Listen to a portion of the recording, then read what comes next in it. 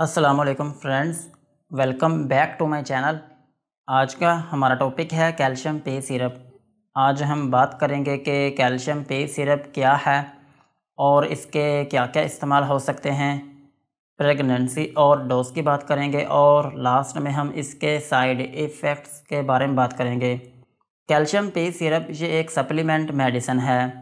Specially calcium और vitamin D supplement और ये सिर्फ़ सिरप के फॉर्म में अवेलेबल है।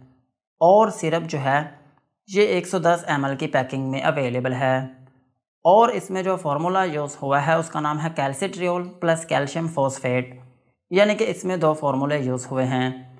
एक का नाम है कैल्सिट्रोल और दूसरे का नाम है कैल्शियम फॉस्फेट जो कैल्सिट्रोल है।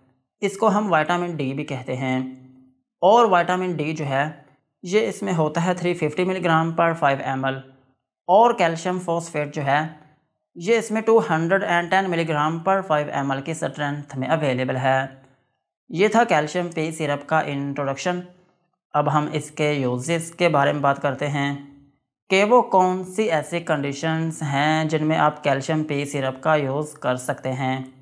कैल्शियम पे सिरप को आप हाइपोकैल्सीमिया में यूज़ कर सकते हैं। हाइपोकैल्सीमिया जो है ये एक ऐसी कंडीशन है, जिसमें आपकी बॉडी में कैल्शियम की कमी होना शुरू हो जाती है। सो अगर किसी शख्स की बॉडी में कैल्शियम की कमी है तो फिर इस कंडीशन में आप कैल्शियम पी सिरप का यूज़ कर सकते हैं। और कैल्शियम पी सिरप को आप हाइपोफोस्फाटीमिया में भी यूज़ कर सकते हैं। हाइपोफोस्फाटीमिया जो है, ये एक ऐसी कंडीशन है, जिसमें आपकी बॉडी में फॉस्फेट की कमी हो जाती है। और फॉस्फेट जो है, ये एक मिनरल है। जो कि हमारी बॉडी में एनर्जी पैदा करने में मदद करता है।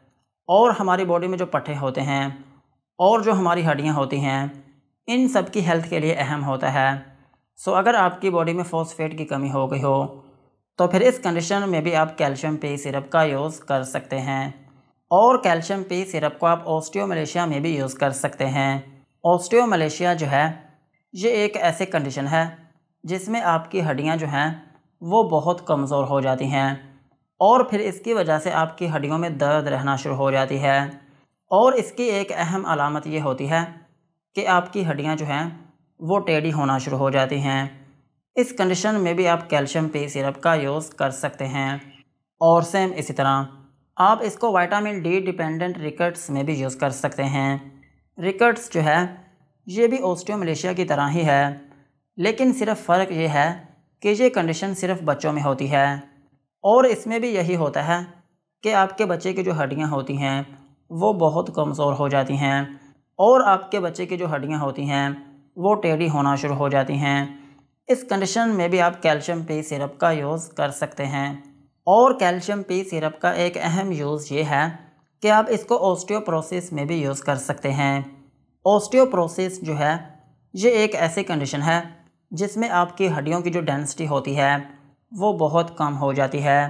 टाइम के साथ साथ आपकी जो हड्डियाँ होती हैं, वो पतली होना शुरू हो जाती हैं, जिसकी वजह से आपकी हड्डियाँ जो हैं, वो बहुत ज़्यादा कमज़ोर हो जाती हैं और वो इतनी नाजुक हो जाती हैं कि अगर खुदा न खासा कभी कोई चोट लगती है तो फिर वो फौरी टूट जाती हैं। सो इस कंडीशन में भी आप कैल्शियम पी सिरप का यूज़ कर सकते हैं। और कैल्शियम पी सिरप जो है, ये आपके दांतों के लिए भी अहम है।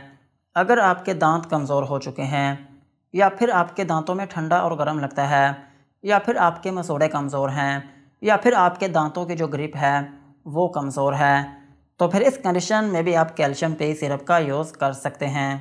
और कैल्शियम पी सिरप जो है, ये आपकी बॉडी की जो ग्रोथ होती है, उसके लिए भी बहुत अहम होता है। अगर आपकी ग्रोथ ठीक तरीके से नहीं हो पा रही, या फिर आपकी बॉडी की जो डेवलपमेंट है, वो ठीक तरीके से नहीं हो पा रही, आपकी ग्रोथ जो है वो रुक चुकी है। तो फिर इस कंडीशन में भी आप कैल्शियम पी सिरप का यूज़ कर सकते हैं।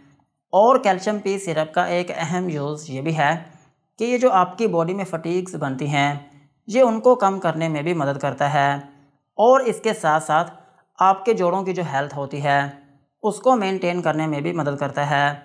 और कैल्शियम पी सिरप का एक अहम यूज़ ये है कि अगर आपका बच्चा मट्टी खाता है और मट्टी खाने की वजह से आपके बच्चे की जो सेहत है, वो बहुत डाउन हो गई हो और आपके बच्चे का जो वज़न है, वो बहुत कम हो गया हो और आपके बच्चे को भूख ना लगती हो और आपके बच्चे की स्किन का जो कलर है, वो बहुत पीला हो गया हो। तो फिर इस केस में भी आप कैल्शियम पी सिरप का यूज़ कर सकते हैं। एक्चुअली ये सिरप क्या करता है कि आपका बच्चा जब मिट्टी खाता है तो ये मिट्टी खाने की जो आदत है, ये उसको छुड़वाने में मदद करता है। ओवरऑल अगर हम बात करें तो कैल्शियम पी सिरप जो है, ये एक कैल्शियम और वाइटामिन डी का एक सिरप है। अगर आपकी बॉडी में कैल्शियम की कमी हो गई हो, या फिर आपकी बॉडी में वाइटामिन डी की कमी हो गई हो, या फिर आपकी हड्डियाँ कमज़ोर हो गई हों, या फिर आपकी हड्डियाँ जो हैं, वो टेढ़ी होना शुरू हो गई हों, या फिर आपके दांत कमज़ोर हो गए हों, या फिर आपकी बॉडी की जो ओवरऑल ग्रोथ है, वो ठीक से ना हो पा रही हो, या फिर इससे भी एक अहम बात यह है कि अगर आपका बच्चा मट्टी खाता हो और वो मट्टी खाना छोड़ ना रहा हो तो फिर इस कंडीशन में भी आप कैल्शियम पी सिरप का यूज़ कर सकते हैं। और कैल्शियम पी सिरप जो है, इसको बच्चे और बड़े दोनों यूज़ कर सकते हैं। यही थे इसके यूज़ अब हम इसकी डोज के बारे में बात करते हैं। अगर आपकी एज 18 साल से ज़्यादा है तो फिर आप इसके दो से तीन चम्मच दिन में एक मरतबा यूज़ कर सकते हैं। और ये जो दो से तीन चम्मच हैं, ये एक ही मरतबा यूज़ नहीं करने होते। बल्कि इनको डिवाइडेड डोज में यूज़ करना होता है। और इस सिरप का जो ड्यूरेशन है, वो एक माह से लेकर दो माह तक होता है। और इसको पीने का जो तरीका है, वो ये होता है कि आप इसको खाना खाने से एक से दो घंटे बाद कभी भी यूज़ कर सकते हैं। और अगर हम बात करें बच्चों की तो बच्चों में भी इस सिरप को यूज़ किया जाता है। अगर आपका बच्चा दो से तीन साल का है तो फिर आप उसको वन फोर्थ टी स्पून दिन में एक मरतबा यूज़ करवा सकते हैं। और अगर आपका बच्चा तीन से पाँच साल का है तो फिर आप उसको हाफ़ टी स्पून दिन में दो मरतबा यूज़ करवा सकते हैं। और अगर आपका बच्चा पाँच से आठ साल का है या फिर आठ से बारह साल के दरमियान में है तो फिर आप उसको एक बड़ा चम्मच दिन में दो मरतबा यूज़ करवा सकते हैं। और अगर हम बात करें प्रेगनेंसी की तो प्रेगनेंसी में इस सिरप को यूज़ किया जा सकता है। और ब्रेस्ट फीडिंग मदर्स जो हैं वो भी इस सिरप को यूज़ कर सकती हैं।